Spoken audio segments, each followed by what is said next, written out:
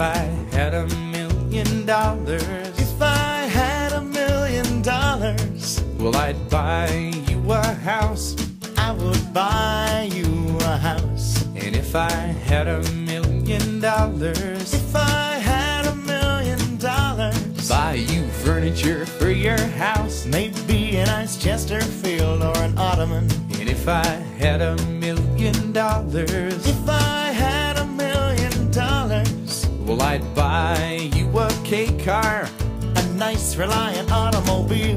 And if I had a million dollars,